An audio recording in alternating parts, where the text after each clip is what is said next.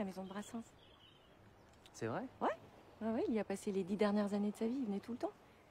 Mon père était devenu copain avec lui.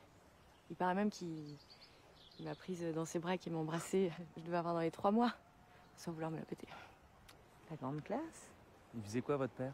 Charcutier, moins la grande classe. Dès qu'il arrivait en Bretagne, la première personne qui passait voir, c'était mon père pour lui, pour lui prendre du saucisson à l'ail.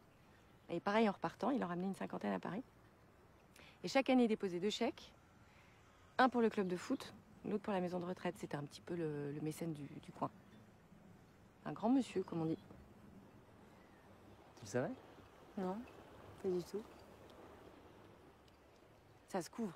On devrait y aller. Ouais.